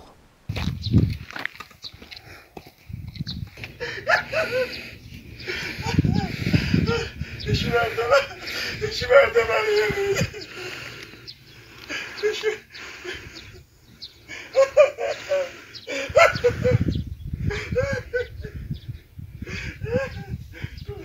Burada nasıl? Burada bizim evimiz. Özü də Seymur tək deyil. 10 minlərlə, 100 minlərlədir. Mən keçən görüşümüzdə demişdim ki, Yasamal rayonunun, keçmiş Sovetski rayonunda yaşayan sakinlərinin problem və tələblərini araşdıracağam. Bugün məsələ üzərində biraz daha çox dayanacağam. Ona görə ki, özünü zərər çəkmiş hesab edən bir qrup yasamallı bacı və qardaşlarımda keçən çıxışımdan sonra bir sıra suallar yaranıb. Onlar hətta mənimlə görüşmək də istəyiblər. Buyurun, Mişayan vaxtımın bundan sonraki dəqiqələri sizin ixtiyarınızdadır. Görüş istəmisiniz? Görüşürük. Xoş gəlmisiniz. Buyurun. Amma əvvəlcə bir söz deyim. Mən keçən dəfə dedim ki, Sovetski sakinlərinin böyük bir qrupundan bəzi fürsətçilər, əldən dildən pərgarlar istifadə etmək istəyir. Amma mən heç yerdə deməmişəm ki, Sovetski sakinləri dövlət əleyhinə çıxış eləyir filan.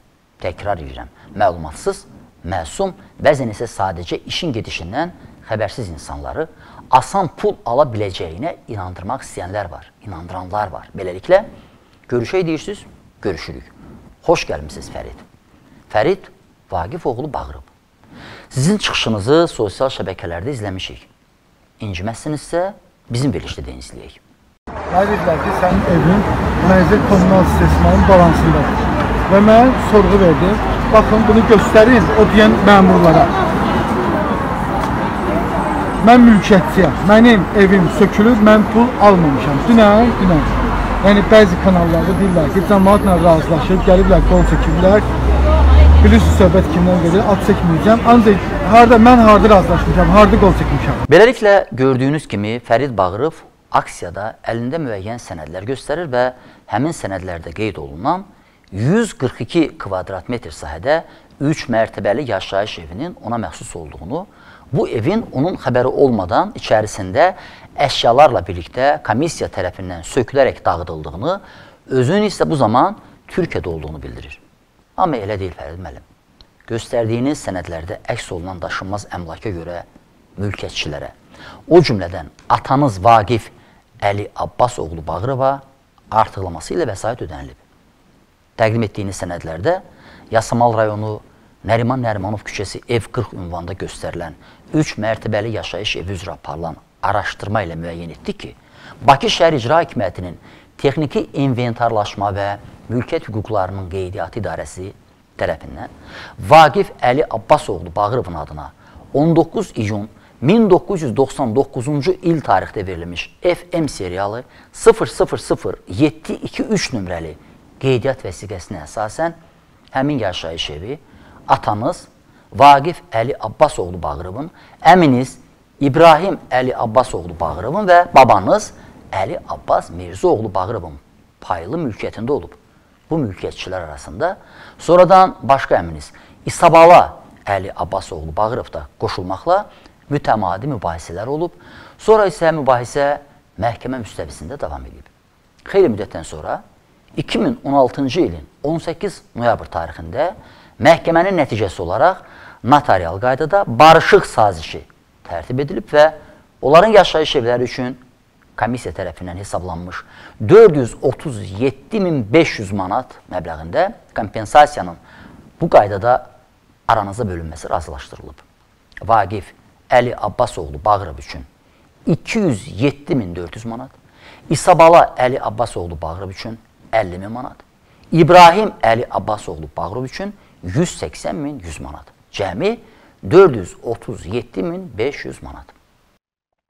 Bundan sonra sizinlə Bakı şəhəri 19 sayılı notariat kontorunda 2016-cı il 14 dekabr tarixində Yasamal rayon icra hakimiyyətinin etibarlı nümayəndəsi arasında qeyd edilən yaşayış evinin alqı satqısı barədə 059-25-83 nömrəli müqavilə bağlanıb və həmin gündən etibarən faktiki olaraq daşınmaz əmlak dövlət mülkiyyətinə keçib. Alqı-satqı müqaviləsində satıcılar, yəni adlarını çəkdiyimiz mülkiyyətçilər bundan sonra bu daşınmaz əmlakla əlaqədar heç bir iddialarının olmayacağı və bu əmlakı qısa müddət ərzində boşaldaraq alıcıya Yasamal rayon icra hakimiyyətinə təhvil verəcəkləri barədə öhdəlik götürüblər. Onu da deyim ki, Fərid müəllim, mənim qardaşım, siz sözü gedən daşınmaz əmlakın notariat kontorunda alqı-satqısı zamanı adınızdan daşınmaz əmlakın satılmasına razılıq hüquqlarınızı 6 sayılı notariat kontorunda 23 dekabr 2007-ci il tarixdə tərtib edilmiş 73 952 reyestr nömrəli etibarnamə əsasında atanız Vaqif Əli Abbasoğlu Bağırova vermisiniz və atanız da həm öz adından, həm də elə sizin adınızdan alqı-satqı müqaviləsinə imza atıb. Hörmətli tamaşaçılar, sənədlə bağlı bir məqamada aydınlıq gətirmək istəyirəm. Bu əmlaka dair adı çəkilən qeydiyyat vəsiqəsində evin yardımçı sahə, yarım zirzəmi ilə birlikdə ümumi sahəsi 184,4 kvadrat metr göstərilib, lakin komissiya tərəfindən evin faktiki sahəsinə görə, yəni 286,5 kvadrat metr sahəyə görə kompensasiya hesablanaraq ödənilib. Onu da qeyd edeyim ki, evin zirzəmisinin 32,6 kvadrat metr hissəsinin hündürlüyü 2,2 metr, ambar 1 kvadrat metri 1200 manata, qalan hissəsinin isə hündürlüyü 2,5 metr, 1 kvadrat metri 1500 manata qiymətləndirilərək ümumi kompensasiya məbləğini daxil edilib. Təkrar edirəm, Fərid Bağırovun söylədikləri fikirlər tamamilə əsassızdır. Onun təqdim etdiyi etibarnamə əsasında alqı-satqı müqaviləsini atası Vaqif Bağırov imzalayıb və kompensasiya məbləği də müvafiq bankdan nağd qaydada atası tərəfindən götürülüb. Həmçinin Fərid Bağırovun söylədiyi 142 kvadrat metr sahəsi olan ev üçün kompensasiya almamışam kimi şayənin əksinə olaraq 286,5 kvadrat metr sahə üçün kompensasiya hesablanaraq ödənilib. Hesablanma zamanı evin zirzəmisi də müvafiq qaydada hesablanaraq kompensasiya məbləğinə əlavə edilib. Onunla da Fərid Bağırovun dediklərini yüngül desək yalan, ağır desək böhtandan başqa bir şey olmadığını görürük. Bax, mən buna görə deyirdim və deyirəm ki, məlumatsız, kifayət qədər məsum, sadə sakinləri allatmaq yolu ilə müvafiq dövlət orqanlarının qarşısına toplamaqla dövlətdən əlavə vəsait almaq niyyətində olanlar var. Bax, bunlara görə deyirəm ki, məlumatsız, məsum sakinlər Fərid Bağırov, Səbinə Nadirzadə, Balaca xanım Süleymanova, Aynura Bədəvi, Elnarə Hüseynova, Sevil Abdullayeva və Nazilə Zərbəliyeva kimi dırnaqarası liderlərin əsassız çağırışlarına inanmasınlar. Xüsusilə bu günlər dövlətin işğaldan azad edilmiş ərazilərə, qazilərə, şəhid ailələrinə xüsusi diqqət yetirdiyi bir vaxtda düşünsünlər. Özünüz gördünüz ki, təkcə Fəridin şəxsində ev necə satılıb, pulu necə ödənilib. Bu həftə gözəl və xarizmatik xanım Səbinə Nadirzadənin də səlis, əla tələffüzə malik nitqinə qulaq astım. Az qala inanmışdım. Birincisi onu əsas vurğulamaq istəyirəm ki, bugün bu Sovetskidə olan insanların hamısı alınmanın təsirinə məruz qalan insanlardır. Və bunların heç biri torpaqların dövlət ehtiyacları haqqında qanunun müddəalarına əsasən köçürülməyib. Səbinə Nadirzadə sakinləri qanunsuz keçirilən aksiyalar zamanı ancaq torpaq pulunu istəyirik tələbi ilə haray salmağa təhrik edir və həmin ərazidə torpağın bazar dəyərinin çox yüksək olduğunu deyir. Yeri gəlmişkən deyim ki, söhbət burada 42 hektardan gedir və 1 milyard manat vəsaitdən. Amma araşdırmam zamanı mən sənədlər əsasında müəyyən etdim ki, evlərinin yerləşdiyi ərazilərdəki torpaq sahələri xüsusi mülkiyyətdə olan sakinlərə həmin torpaq sahələrinə görə də əlavə olaraq kompensasiya hesablanaraq ödənilib. Hamayl Xəyilova, Sevda Musayeva, Simnar Hacıyeva, Aybəniz İskəndərova, Mətanət Səfərova və onlarla belə adlar çəkə bilərəm. Onu da deyim ki, yaşayış və qeyri-yaşayış obyektləri dövlət ehtiyacları üçün alınmış Sovetsk adlanan ərazi Bakı şəhərinin baş planına uyğun olaraq Dəmir yolu vağzalından başlayaraq Hüseyin Cavid parkına, Landau küçəsinə qədər salınmalı olan yaşıl zolaq layihəsinə daxildir. Yəni həmin ərazidə mövcud olan bütün obyektlər bu layihənin icrası üçün satın alınır həmin ərazidə qazanc əldə etmək, yəni biznes məqsədi ilə hər hansı bir obyektin tikilməsi nəzərdə tutulmamışdı. Və hamının gördüyü kimi istifadəyə verilmiş gözəl bir parkın ərazisində belə bir obyekt inşa edilməyib. Bu ərazidə mövcud olan idman və əyləncə qurğuları, ha belə kiçik ölçülü kafelər isə yalnız sakinlərin ehtiyacını ödəmək və onların istirahətinin səmərəli keçirilməsini təmin etmək üçün quraşdırılıb. Təbii ki, satın almalar zamanı torpaq o vaxt dəyərli olur ki, onu qazanc və əlavə gəlir gətirən hər hansı bir obyektin tikintisi üçün satın alırsan. Sovetsk adlanan ərazidə isə Bakının baş planına uyğun olaraq Yaşıl Zola layihəsinin icrası nəzərdə tutulduğu üçün həmin ərazidə torpaqların, həmçinin tikililərin kommersiya məqsədi ilə sakinlərdən satın alınması qadağan edilib. Belə olan halda bu ərazidə yaşayış evlərinin yerləşdiyi torpaq sahələrinin qiyməti heç də tələb edildiyi həddə yüksək ola bilməz.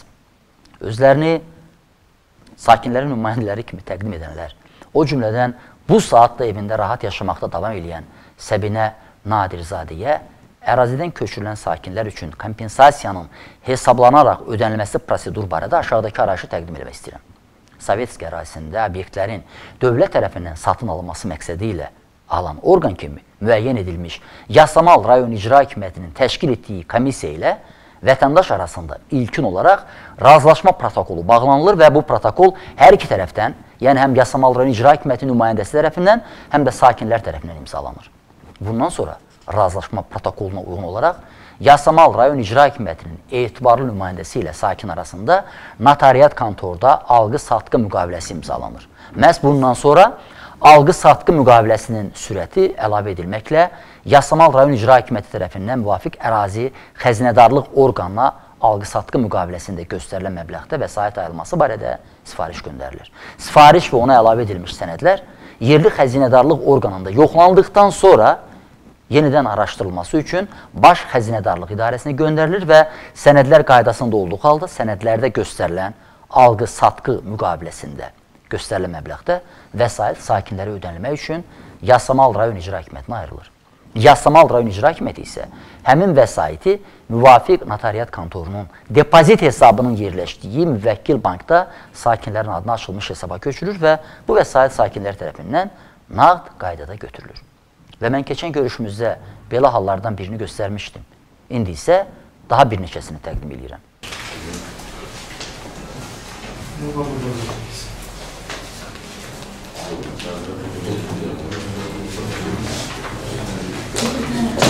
Sağ olun. Çok sağ olun.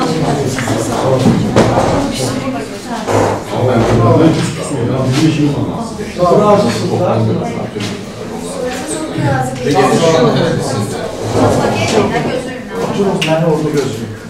Təzə başçımız da çox sağ olsun, hamını qəbul edəyib. Hamınız Allah can sağlıq versin. Dünyanın heç bir dövlətində belə şey yoxdur. Heç bir dövlətində. Doğrudan yox. Dövlət başçısı gözəldir. Dolar məsələsində. Sevinç Hanım bir dövlətlər- götürək ki, bu Sovetski cəmaatının yaşadığı bir düz deyil, dələ baba, Şərait dələ var. babadan qalmış evlərdə çoxlu sənədi yox. Yox idi, bu. Bax, yasa- Onlara pul bax- verdi.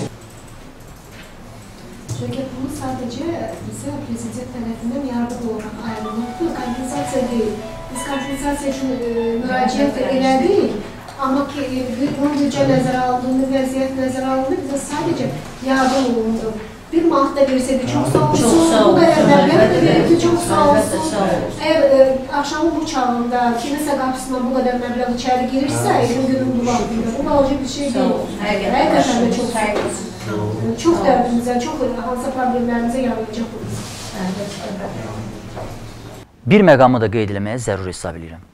Sakinlərə məxsus yaşayış və qeyri-yaşayış obyektlərinin sahələrinin ölçülərək sənədləşdirilməsində komissiyanın 7-8 nəfər üzvü, müstəqil qiymətləndirici şirkətin 2-3 nəfər eksperti və obyektin mülkiyyətçisinin və ya istifadəçisinin ailə başçısı, çox halda isə bir neçə ailə üzvləri iştirak edib və nəticə barədə tərtib edilən sənədlər onlar tərəfindən imzalanıb. Məndə bütün bu proseslərin sübutu kimi faktlar var. Görünən də budur ki, komissiya yaşayış evlərinin sahələrinin ölçülməsi və kompensasiyanın hesablanaraq ölçülməsi işlərində şəffaflığı təmin edə bilib. Dövlət büdcəsindən sakinlərlə razılaşdırılmış məbləğdə vəsait ayrılır və bu vəsaiti də sakinlər bankdan nağd qaydada götürür. Deməli, sakinlərin nümayəndələri kimi özlərini təqdim edənlərin, o cümlədən Səbinə Nadirzadənin bizə ayrılan vəsait mənimsənilir ifadəsinin ən azı həqiqətə uyğun olmadığı, daha sərt desək, böhtan olduğu görünür. Daha bir nəticəm. Maliyyə Nazirliyinin məmurları kompensasiyanın ödənilməsi prosesində ümumiyyətlə iştirak eləmirlər. Hesablanmış kompensasiya məbləğini hökumət Yasamal rayon icra hakimiyyətinin müvafiq xəzinə hesabına köçürür. Yəni iş elə qurulub ki, Maliyyə Nazirliyinin məmurları istəsələr də həmin vəsaitə müdaxilə edə bilməzlər. Dövlətdən isə sakinlərə hesablanmış kompensasiya məbləğində vəsait ayrılır. Yəni bundan artıq vəsait verilmir və verilə də bilməz. Çünki hər bir vəsaitin arxasında alqı-satqı müqaviləsi, ailənin siyahısı və Yasamal rayon icra hakimiyyətinin sifarişi olmalıdır. Həmin vəsait isə sakinlərin özləri tərəfindən müvafiq bankdan nağd qaydada götürülür. Səbinə Nadirzadənin məhkəmə çəkişməsi ilə əlaqədar dediklərini də araşdırdım. Yasamal rayon icra hakimiyyətinin aldığı məlumatdan, ha belə müvafiq sənədlərdən də görünür ki, Səbinə Nadirzadə torpaqların dövlət ehtiyacları üçün alınması haqqında qanunun tələblərinə zidd olaraq ona məxsus yaşayış evinin sahəsini ölçərək müəyyən etmək üçün gələn komissiyanı və müstəqil qiymətləndiriciləri uzun müddət evinə buraxmayıb. Buna səbəb kimi gah deyib ki, həyat yoldaşı evdə deyil, gah deyib ki, özünün vaxtı yoxdur, hə bir dəfə də deyib ki, komissiya üzvlərinin sayı çox olduğundan onları evə buraxa bilməz. Ümumiyyətlə, öz ittihamlarında torpaqların dövlət ehtiyacları üçün alınması haqqında qanunun adını tez-tez çəkən Səbinə Nadirzadənin nəzərinə çatdırmaq istəyirəm ki, həmin qanuna əsasən yaşayış evinin sahəsini müəyyən etmək məqsədi ilə gələn komissiya üzvlərinin evə buraxılmaması inzibati məsuliyyət yaradır və buna görə komissiya tərəfindən ona qarşı müəyyən məbləğdə cərimə də tətbiq edilə bilərdi. Bax bu məsələdə məncə komissiyanı hətta tənbeh etmək olardı. Çünki lazımsız yerdə humanizm göstərib. Bu tədbirə əl atmayıb. Çünki məhz buna görə, yəni Səbinə Nadirzadə yaşayış evinin sahəsini ölçməyə imkan vermədiyi üçün komissiya tərəfindən həmin və kompensasiya məbləğini müəyyən etmək mümkün olmamış və bu səbəbdən də Yasamal İcra Hakimiyyəti məhkəməyə müraciət edərkən bu ev üçün ilkin olaraq simvolik bir məbləğ göstərməyə məcbur olmuşdu. Məhkəmənin gedişində Yasamal İcra Hakimiyyətinin qaldırdığı vəsatətə uyğun olaraq hakimin tələbi ilə Səbinə Nadirzadənin evinin sahəsini müəyyən etmək mümkün olub və rayon icra hakimiyyəti həmin ölçülərə əsasən obyektiv olaraq hesablanmış kompensasiya məbləği barədə məhkəməyə ilkin olaraq təqdim etdiyi iddia ərizəsində dəyişiklik eləyərək bu məbləği 408 min 900 manata çatdırıb. Onu da deyim ki, Səbinə xanıma məxsus olan yaşayış evinin sənəd üzrə sahəsinin 126,1 kvadrat metr olmasına baxmayaraq, ona təklif edilən 408.900 manat kompensasiya məbləği evin faktiki sahəsinə, yəni sənəddə göstəriləndən xeyli çox sahəyə görə 267,6 kvadrat metr sahəyə görə hesablanıb. Bir faktı da əlavə edeyim. Səbinə Nadirzadə evinin sahəsini yeni tikililər hesabına artırmaq üçün lazımi dövlət orqanlarının icazə almayıb, yəni qanunsuz olaraq öz başına tikililəri inşa eləyib. Buna baxmayaraq humanist komissiyamız yenə də öz amplasında olub. Yəni komissiya tərəfindən Səbinə xanıma qanunsuz tikdiyi öz başına tikililər üçün də kompensasiya hesablanıb. Baxmayaraq ki, qanunvericiliyə əsasən vətəndaşın öz başına tikiliyə görə heç bir vəsait tələb etmək hüququ yoxdur. Lakin Sovetskidən köçürülən sakinlərə bu məhdudiyyətlər tətbiq edilməyib. Yəni, bütün tikililərə görə kompensasiya ödənilib. Hə, bir əlavəm də var. Səbinə Nadirzadəyə qeyd etdiyim kompensasiya məbləği ilə bərabər 31400 manat maddi yardım da ödəniləcəyi bəyan edilib. O ki, qaldı Sovetskidən köçürülənlərin güya dözülməz şəraitə yaşamağa məcbur olmasına gəlin sadəcə Sovetski adlandırılan ərazidən Nərimanov rayonu ərazisinə köçürülmüş sakinlərdən birinin qapısını döyək. Heç nə demədən mənzərəni sizə təqdim edirəm. Deməli, təklif elədilər 1500 manatdan. Birinci ЖЭK-nin işçiləri gəldilər, ən birincisi. Dedilər ki, evlər söküləcək. Biz 1500 manat yola düşməyinə görə ev yola düşür bizim evimiz. Hökumət tərəfindən 1500-dən olunacaq. Bunu dedilər, getdilər. Mən heç nə demədim. Yəni ki, bu 2 ilin ərzində bu hamısı proses getdi də. O dəqiqə sökmədilər, eləmədilər. Sonra üstündən bir zaman keçdi. Uje hamısı qonşuların ki, kvadratı böyük idi. Onlar o tez razılaşdılar, çıxdılar, getdilər. Pulları yaxşı aldılar onlar. Mən qaldım orada. Onlar sonra gəldi ki, biz bir dənə də şey var ki, ev də verəcəklər. Ya pul, ya ev. Mənə 1500-dən orada deməli düşdü 27 min pul. Mənə az düşürdü. Deməli 27 24 min, onlar 3 min də əlavə elədilər ki, sizə gəlin 27 min verək, irazısızsa. Gedin özünüzə ev alın. O vaxtdakı devalvasiya deyən bir şey düşdü də, dollar artdı, nə oldu, nə olmadı. Mən razılaşmadım. Dedilər ki, ev olacaq. Gözlədim. O nə qərar verdi prezident sonra. Ondan sonra Ola ki, yaxınlaşdılar ki, indi nəyə razısan? Ya evə, ya pula? Dedim, mütləq evə. Demək olar, mən podvalda yaşayırdım. Heç kvadrat metrədə demək olmaz ona. Patsobna menşeyini dedilər ona. Yəni ki, podval o vaxt orada e, eviyyət həyətiyəsi, balon, nə bilim nə saxlayıbdı, kladovka kimi. Pəncərəsiz, torpağın üstündə, qaranlıq, 12 kvadrat evdə. 3 nəfər adam idik. Mən, 2 evladım. Hətta mənim uşağım orada asmatik oldu. Yəni ki, hava yox idi, heç bir şey yox idi. Obşi kanalizasiya mənim qapımın ağzımda tutulmuşdu. Hamısı evimə axırdı. İnanırsınız nə mundarçılıq gedirdi. Mən uşaqları hətta stol, stolun üstündə otuzdururdum. Hamam həyətdə idi. Biz hər zaman məsələn əl yumaqda nə də çıxırdıq, qapını bağlayırdıq, gedirdik hamama. Orada qorxa-qorxa ki, həyətdə kimsə girə bilər. Yəni ki, axşam qapını bağlayır. Hətta elə olmuşdu ki, mən işdə olanda hə, hamamı açıb nəsə aparmışdılar.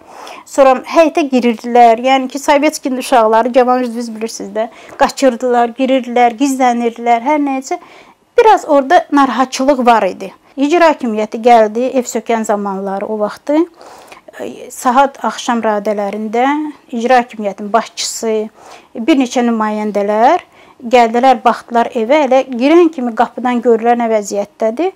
Dedilər ki, sizə ev düşür. Hətta mənim evimin kvadratını da özləri artırdılar. Yəni ki, mənim hamamım həyətdə idi. Bunlar hamamı da evin içinə saldılar ki, biz sizə mütləq biz ev verəcəyik. Gözlədim, gəldilər, soruşdular, dedilər ki, gəlin rayis balkoma, icra hakimiyyətinə. Bizə indiyəcən yadımda hər ay 200 manat pul verdilər. O 6 il bundan qabaq 200 manat qalmaq olurdu. 200 manat pul verirlər bizə. yul ayında mən oktyabrda köçdüm bura. Yul ayında ki, uje açarlar verildi. Ondan sonra uje kəsildi. Deməli, yanvar, fevral, mart, yanvar demək, fevral, mart, aprel, may, iyun ayında 5 aya necə dedilər ki, 4 ay hazır olacaq, elə də oldu. İndi həmin evdəsiz. Bəli. Neçə kvadrat metrdir bura? Ümumiyyətlə necə bir evdir bura? Çox gözəl. Sizə hansı formada verildi? Gözəl formada. 34 kvadrat общий ümumi evdir. Balkonu, kuknası, santexnikası, sanuzeli, hər bir şəraiti var. Kombisi, istiliyi, hər bir şey mən çox razıyam. Hətta heç uqlavoy olmağa baxmayaraq heç nəmişlik yoxdur bu evdə. Hasan xidmət elə bizim küçə ilə düz yuxarıdadır. Keçmiş İnqilab küçəsində heç bizə heç transport da lazım olmur. Biz elə ayaqla gedirik. Məsələn ki, qızıma işə girəndə araç lazım idi. Oğlum institutda, əskərlikdə o diplomunu alma, hər bir şey biz hasanlıqla.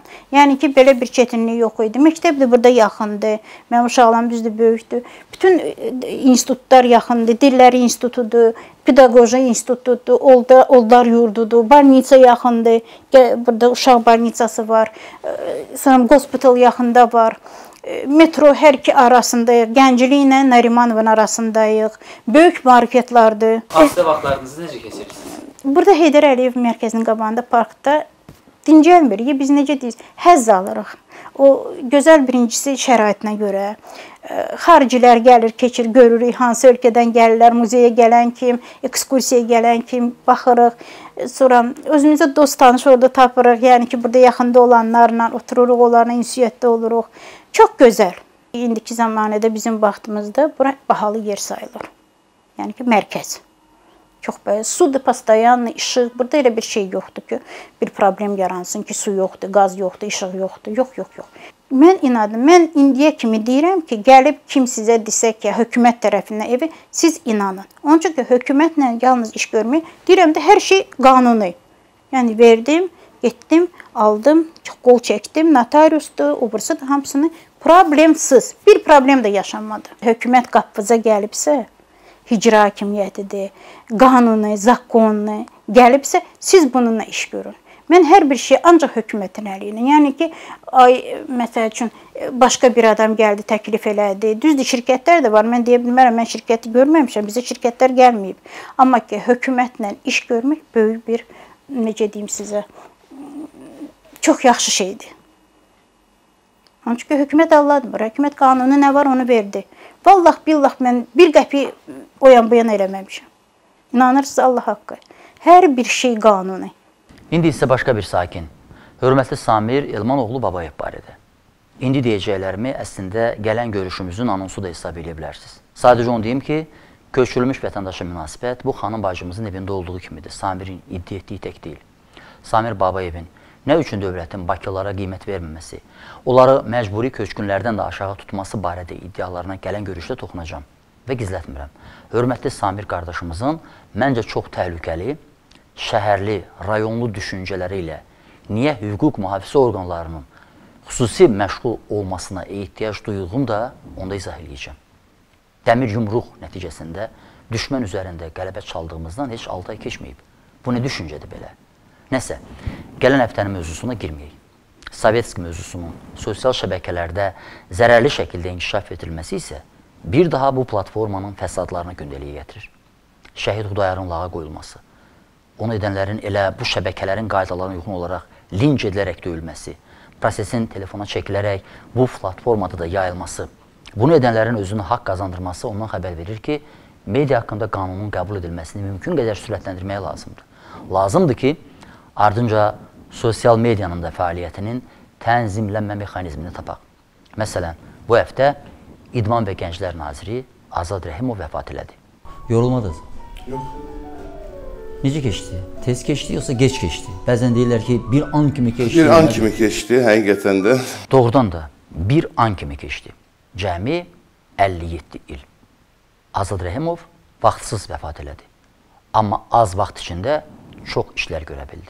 Ali Baş Komandanın Qarabağda qazanılan qələbədə gənclərin roluna verdiyi xüsusi əhəmiyyətdən, yüksək qiymətdən Gənclər Nazirimizə mütləq pay düşür. Azad Rəhimov getdi. Yəqin rahat nəfəs alacaq bundan sonra. Başqa ciyərlərlə. Vaxtınızı çox almayım. tədbir başa çatır, bağlanışdır. Biz bunu efirə verəndə artıq siz yəqin ki, rahat nəfəs alacaqsınız da. Bütün gərginlik arxada qaldı. Biz, biz rahat nəfəs alacağıq o vaxtda ki, sonuncu idmançı təyyarəyə minib, təyyarə də qalxandan sonra biz deyə bilərdik ki, tamamilə biz işlərimizi bitirmişik. Eşitdiyiniz bu sonuncu cümlə isə həmişə qüvvədə olacaq. Azərbaycana gələn və gedən hər bir idmançının yola salınması ilə. Rahat mənzil başı. Məni bağışlayın, amma Azad Rəhimovun ölümü ilə bağlı yayılan ziddiyyətli xəbərlər onu rahat ölməyə qoymadı. Və məhz sosial şəbəkələrin yaratdığı yeni reallıqlar, bir sıra dırnaqarası passionarların tərbiyəsizliyi və əxlaqsızlığı nəticəsində. Çünki Azad Rəhimov həm də bir məmur idi. Sosial şəbəkələrin nifrət etdiyi və nifrət aşıladığı məmur obrazından uzaq olsa da hər halda məmur idi. Əlbəttə, Şəmkirin icra başçısı olmuş Alim Paşa tipajı məmurların hamısını zərbə altına qoyur. Əbdürrəhim Akberdiyevin marallarından çıxmış Alim Paşanın soyadını mən qəsdən demirəm. Belə adamların soyadı olmur. Şəmkir rayon icra hakimiyyətinin vəzifəli şəxsləri tərəfindən külli miqdarda dövlət əmlakının ələ keçirilməsi, vətəndaşların hüquqlarına zərər vurulması ilə bağlı qanunsuz əməllərə yol verilməsinə dair məlumatlar əsasında Dövlət Təhlükəsizlik Xidməti tərəfindən kompleks əməliyyat istintaq tədbirləri həyata keçirilib. Araşdırmalar zamanı xeyli maraqlı faktlar üzə çıxıb.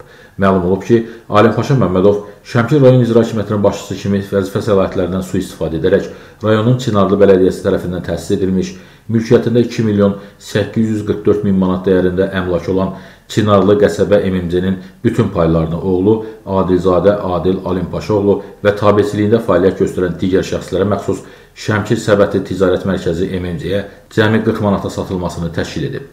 Şəmkir Səbəti Ticarət Mərkəzi Bakı-Qazaq avtomobil yolunun 391-ci kilometrliyində 5 hektar torpaq sahəsində yaradılıb.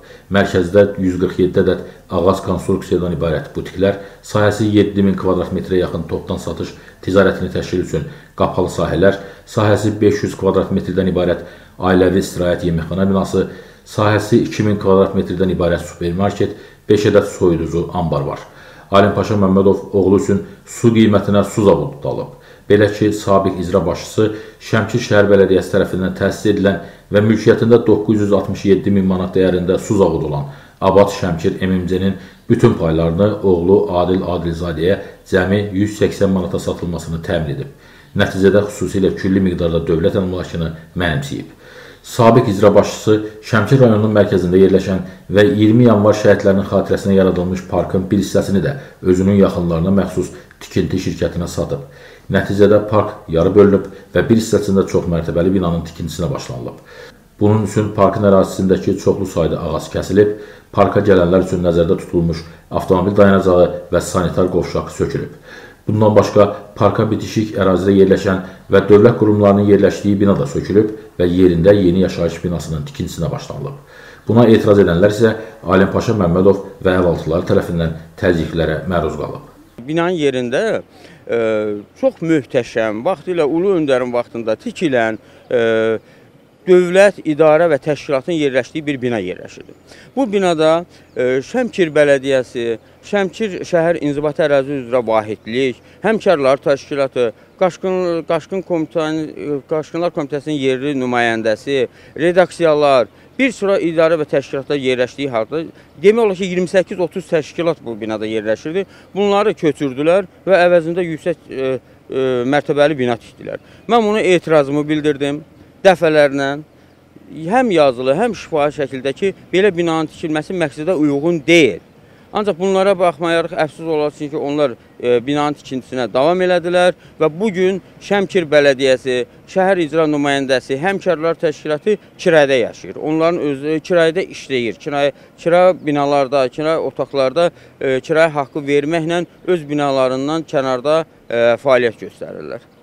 Alim Paşa Məmmədovun Şəmkir rayon ərazisində abadlıq işlərinin görülməsi ilə bağlı Akstafa su tikinti MMC-nin hesabına köçürülmüş 218 min manat külli miqdarda pul vəsaitini nağdlaşdıraraq təkrar mənimsəmə yolu ilə ələ keçirilməsinə, Şəmkir rayon ərazisində dövlət büdcəsindən ayrılan vəsaitlər hesabına tikinti və abadlıq işləri, əsaslı və cari təmir, habelə yolların təmin edilməsi ilə bağlı işləri yerinə yetirən ayrı-ayrı şəxslərdən ümumilikdə 382 min manat, rayon ərazisindəki sahibkarlıq və yaşayış təyinatlı tikinti işlərinin aparılması ilə bağlı ayrı-ayrı vətəndaşlardan ümumilikdə 217 min manat vəsaiti tabeçiliyində olan şəxslər vasitəsilə rüşvət qismində istəyərək almasına əsaslı şübhələr müəyyənləşib. Sabiq icra başçısı korrupsiya və rüşvətxorluq yolu ilə əldə etdiyi pul vəsaitlərini leqallaşdırmaq üçün yollar düşünməyə başlayıb və bu dəfə də ağlına oğlu üçün daha bir müəssisə yaratmaq gəlib. O mənimsəmə və rüşvət yolu ilə pul vəsaitlərinin əldə edilməsinin həqiqi mənbəyini gizlətmək məqsədi ilə 832 min manat vəsaitin oğlu Adil Adilzadənin adına təsis etdiyi Asfarel MMC-nin Şəmkir rayonunda yerləşən balıq yetişdirmə və emalı müəssisəsinin tikintisinə və digər xəstlərinə yönəldib. Beləliklə, Alim Paşa Məmmədov qazandığı qara pulları ağartmağa cəhd edib. Asfarel MMC balıq yetişdirmə təsərrüfatı əhəmiyyətinə görə rayonun ən mühüm müəssisələrindən biridir. İstehsal gücünə görə Qafqazın ən böyük balıq yetişdirmə və emal müəssisəsi olan Asfarel MMC Şəmkirçay su anbarının sahilində yerləşir. Müəssisənin tərkibində balıq yetişdirmə hovuzları, balıq emalı zavodu, inkubasiya sahəsi, kürü istehsalı və yem istehsalı zavodu fəaliyyət göstərir. Kür çayında gördüyünüz üzən qəfəslər də Şəmkir rayonunun sabiq icra başçısı Alim Paşa Məmmədovun oğlu Adil Adilzadəyə məxsusdur. Adil Adilzadə atasının rüşvət və korrupsiya yolu ilə qazandığı pulları leqallaşdırmaq üçün yaratdığı Azfarel MMC-dən xırda farel balıqlarını bu uzun qəfəslərə gətirirlər və burada bir neçə ay yetişdirdikdən sonra yenidən zavoda qaytarırlar və bununla da həmin məhsul satışa çıxarılır. Bura isə Alim Paşa Məmmədovun maralçılıq təsərrüfatıdır. Rayon sakinləri onu həm də maral sevgisi ilə tanıyırlar. Məmmədov rayona icra başçısı təyin edildikdən bir qədər sonra maralçılıq təsərrüfatı yaradıb.